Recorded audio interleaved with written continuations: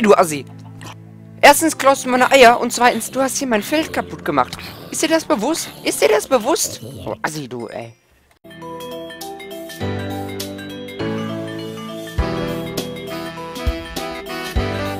Hallo und herzlich willkommen zurück zu Minecraft.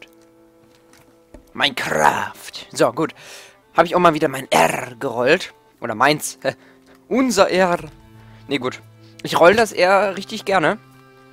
So, und deswegen höre ich auch gerne Rammstein, weil der Till Lindemann das R so toll rollen kann. So, jetzt ist es raus. Ich höre gerne Rammstein, weil der Till Lindemann das R so toll rollen kann. Und weil ich die Socks, äh, äh, Socks-Texte, die Songtexte teilweise gut finde. Eigentlich mag ich die Musik oder den Musikstil von denen persönlich jetzt überhaupt nicht quasi. Mir gefällt der nicht so gut, sag ich mal. Einige Lieder sind schon toll. Oder einige Passagen in einigen Liedern sind toll. Äh, aber im Großen und Ganzen kann man mir sagen, gefällt mir das jetzt nicht so gut wie, keine Ahnung, Blues Brothers zum Beispiel, die ich sehr, sehr gerne höre von der Musik her. Aber ich mag es halt an Rammstein sehr gerne, dass die, ja, äh, Deutsch singen, dass er so toll rollen können und, ja, die, die Texte teilweise auch für mich erheiternd wirken. Und ja, ihr wisst, ich bin da immer vielleicht etwas, etwas, ja, äh, anders gepolt als die meisten Menschen. Viele sagen immer, äh, boah, wie kann man denn so asozial sein? Dich muss doch betreffen, was andere Menschen, ja, ähm, ich sag mal, auch betrifft. Aber, äh, ganz ehrlich, da bin ich der Meinung, nee, die machen sozusagen ihr Ding und ich mach mein Ding. Also, keine Ahnung, wenn er jetzt irgendwo Amoklauf war, dann ist es eigentlich die, Na wenn ich mal Nachrichten gucke, das ist die Nachricht in den Nachrichten, die ich äh, als letztes hören möchte, weil mich weil ich dann die Sendung abschalten kann, da mich das nicht interessiert und ich möchte das nicht direkt als erstes gehört haben. Oder wenn ein Soldat in Afghanistan, ist jetzt wieder passiert, umgebracht wurde, muss ich leider auch sagen, ist es die Nachricht, die ich als letztes hören möchte. Ich möchte persönlich lieber Sachen hören, die mich direkt am Anfang betreffen, mich selbst und ja. Da bin ich schon immer etwas komisch gepolt. Natürlich ist es jetzt äh, nicht so, als ob ich mir denke, ja, guck mal, der liegt ja im Sterben und dem helfe ich jetzt einfach mal nicht. So assi bin ich dann doch nicht, aber ich sag mal so, ähm, was ist das denn hier? Ey, du Assi. Erstens klaust du meine Eier und zweitens, du hast hier mein Feld kaputt gemacht. Ist dir das bewusst? Ist dir das bewusst? Oh, Assi, du, ey. Mach dir hier mein Feld kaputt. Was, was ist das denn jetzt bitte? Muss ich das demnächst noch reparieren? Nun ja, was wollte ich jetzt sagen? Hab ich vergessen. Schön, was? Ähm, ja. Also, wie gesagt, ich bin da teilweise etwas anders gepolt. Meine Religionslehrerin meint immer, ich wäre total asozial. Weil mich halt sowas nicht interessiert. Das muss mich eigentlich interessieren. Wenn ich äh, halbwegs ausgeprägten Menschenverstand habe, dann habe ich den halt wohl nicht. Ist mir auch ehrlich gesagt egal. Weil, ja, es ist natürlich... Ich behaupte nicht, dass es äh, nicht traurig ist, aber mir ist es ehrlich gesagt egal. Für die Angehörigen ist es natürlich traurig. Verstehe ich auch, wenn die trauern. Aber äh, das ist mir persönlich komplett egal. Hört sich jetzt hart an, ist leider so, weil es mich persönlich nicht betrifft und mich deswegen auch nicht interessiert. Zum Beispiel, äh, ich höre mir viel lieber äh, an, wie der Aktienmarkt steht, weil der betrifft mich persönlich äh, sehr, sehr stark. Nicht, weil ich äh, irgendwie in Aktien spekuliert habe oder in Aktien investiert habe, sondern wenn dort irgendwie was passiert, wenn dort was platzt oder so, dann kann es einfach sein, dass ich, äh, oder dass unser ja, Finanzsystem demnächst äh, für den Arsch ist. Und ich möchte gerne weiterhin in dem wirtschaftlich starken Deutschland leben, so wie es jetzt ist, weil die Leute in Afrika, die, ja, die gehen mir eigentlich auch am Arsch vorbei, weil sie mich noch nicht betreffen, aber vom Prinzip her dann wieder auch nicht, weil sie zeigen mir, wie es ist, wenn unser Finanzsystem zusammenbricht, dann sieht es dann nämlich äh, bei uns genauso aus wie bei denen. Und ja, das möchte ich dann halt doch wiederum nicht. Und deswegen habe ich dann...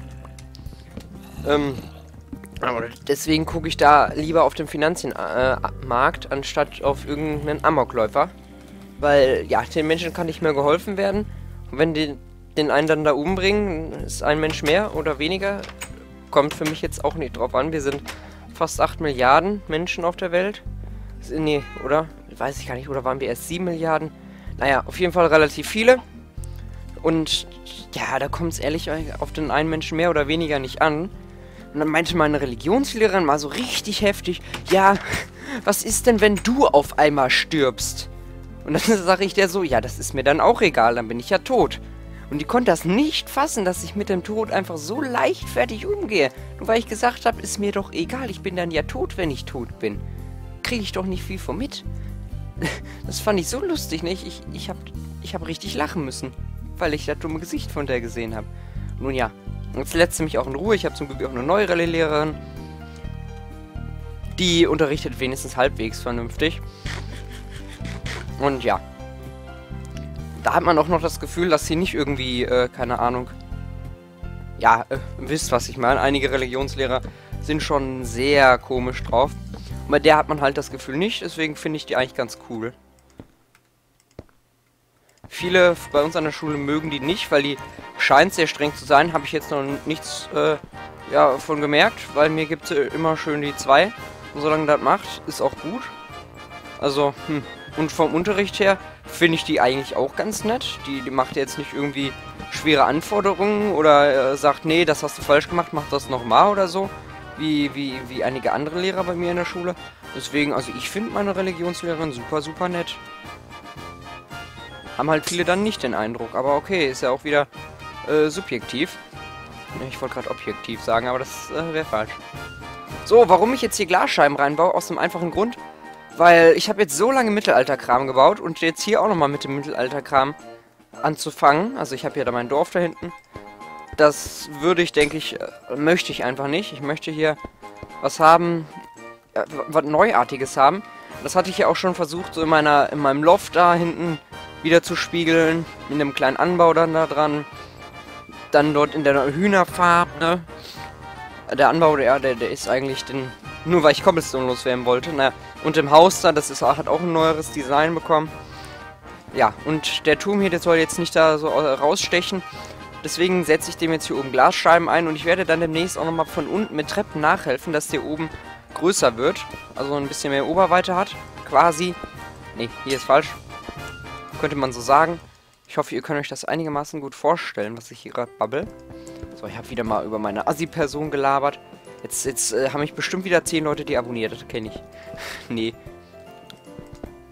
Aber weil ich letztens total lustig fand, ich, ich, ihr wisst ja alle, ich finde Pete's Meat nicht toll. Also ich mag sie nicht, sag ich mal so. Wie mein Deutschlehrerin sagen würde. Die sprechen mich nicht an. Gut. Naja, ähm, ich mag den Stil von denen nicht. Ich, mir gefällt. Das Kanalkonzept ist vielleicht ganz nett, aber so wirklich gut gefallen tut es mir auch nicht.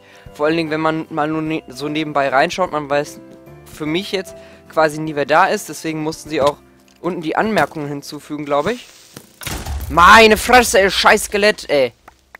Toll, nur wegen dem scheiß Skelett, weil es mich zurückgeschossen hat, ey. So eine Scheiße, jetzt ist hier wieder so ein riesen Erdloch drin, ey. Toll. Nun ja, ähm, so, wenn ich äh, persönlich da reingucke, ich weiß gar nicht, haben sie die Anmerkungen noch unten drunter, ich habe da jetzt schon ewig nicht mehr reingeguckt, aber wenn ich das tue, dann, ähm, und mir diese Anmerkungen nicht ansehe, dann weiß ich nicht, wer wer ist. Oder wer da labert.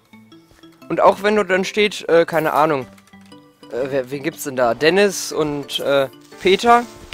Ja, komm, fick dich, du scheiß Creeper, fick dich einfach. Ich möchte hier, wisst ihr was, ich mache jetzt auf Peaceful damit die scheiß Mobs hier weg sind und ich das Loch stopfen kann. Das hat doch sonst so keinen Wert. Und ja, was wollte ich jetzt sagen? Genau. Also mir gefällt es halt nicht, weil ich persönlich daran nicht so durchblicke, weil ich die halt nicht kenne.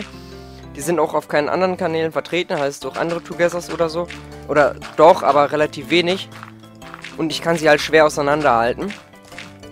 Deswegen finde ich Togethers mit mehr als zwei Leuten teilweise relativ unübersichtlich und deswegen sage ich mal, gefällt mir das Kanalkonzept von dem teilweise nicht finde es gut, dass das mehrere Leute sind und deswegen auch immer Togethers haben, aber nun ja. Hm. Bisher halt, mir gefällt das Kon Kanalrezept, ne, äh, Rezept, ja, Konzept halt nicht so gut. Der Kommentarstil von einigen dort gefällt mir quasi gar nicht. Und, ähm, ja, auch die Spiele, die diese derzeit so spielen, ja, also als ich letzten Mal vorbeigeguckt habe, haben mich davon nicht so viele angesprochen.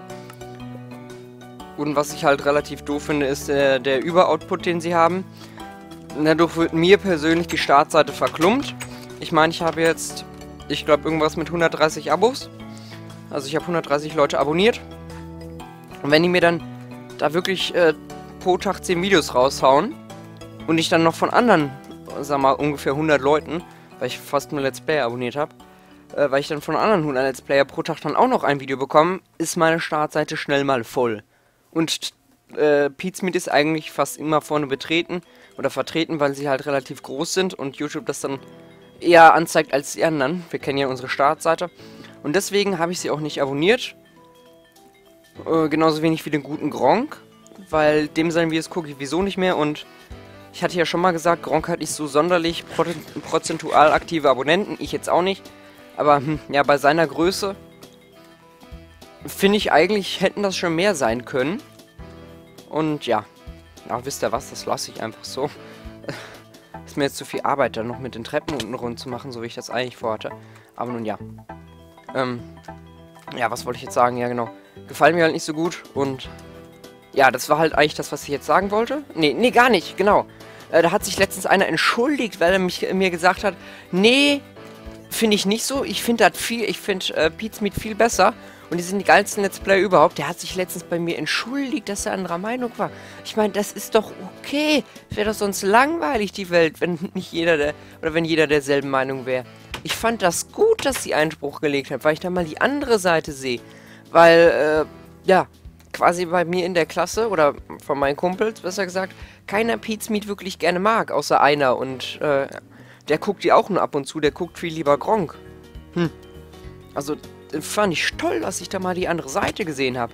Aber trotz dieser anderen Sichtweise, ist ja oft bei mir so, dass ich durch eine andere Sichtweise auch eine andere Denkensweise bekomme, hat sich mein Denken über Pizmeet jetzt per äh, persönlich nicht geändert und ich kann jetzt immer noch äh, behaupten, da ich jetzt auch die Gegenseite kenne, nö, mir gefallen die nicht. Ich gucke lieber, keine Ahnung, Neos an LPM. Der spielt für mich wesentlich attraktivere Spiele, hat einen besseren Kommentarstil und ja, es spammt mir die Seite nicht so zu, weil ich finde, dem seine Videos sind, ich nenne es mal, äh, dem seine, genau. Deren ihre Videos, also die Videos von Pete's Meat, die bringen zwar viel, dafür, ähm, qualitativ nicht so hochwertige Sachen wie andere Leute. Zum Beispiel der gute Gronk, der hat da wirklich sehr, sehr viel Arbeit mit dem Encodieren. Und Pete's Meat denke ich mir einfach so, weißt du, die nehmen Power Director oder sowas oder Camtasia zum Rendern. Ist ja jetzt kein schlechtes Programm, aber es geht halt wesentlich besser, so wie es der Gronk halt macht. Und, ähm, ja, da ist halt die Qualität relativ hoch. Er haut dann nicht so viele Videos raus wie Pizmeet, zwar schon relativ viele, aber nicht ganz so viele. Und PewDiePie auch. Der steckt da sau viel Schneid- und Enkodierarbeit rein in seine Videos. Sobald er irgendeine Szene dreimal, zwei oder dreimal spielen muss, schneidet er das hier raus und cuttet das dann so, die besten Stellen zusammen. Als wenn er zwei Stunden Aufnahmesession hat, hat er dann vielleicht eine Stunde da rausbekommen. Oder sogar mehr natürlich, wenn er gut ist, aber oft äh, ist es auch nur so. Und deswegen, ja. Für mich macht Pizmeet, ist Pizmeet so, so das äh, China der, der Let's Player-Szene. Die, die produzieren, die haben, machen Fließbandarbeit und das in nicht so hoher Qualität. Kann man so nennen. Kann man so nennen. Während dann, eigentlich, ich nenne jetzt mal ein größeres Beispiel, Gronk oder auch Guden LP, der da steckt sehr viel Encodier- und Hochladearbeit rein. Mehr als man vielleicht glaubt bei seiner Größe. Ich äh, stecke jetzt relativ viel Hochladezeit. Renderzeit habe ich bei mir so äh, gestellt, dass es minimiert ist. Ich habe da perfekte Lösung gefunden, aber relativ viel Hochladezeit, auch noch Nachbearbeitung mit Stimme und sowas stecke ich da auch rein, nur um das mal äh, sagen, nicht, dass ich hier jetzt auch so als Fließband-Let's Play abgestempelt werde, nun ja.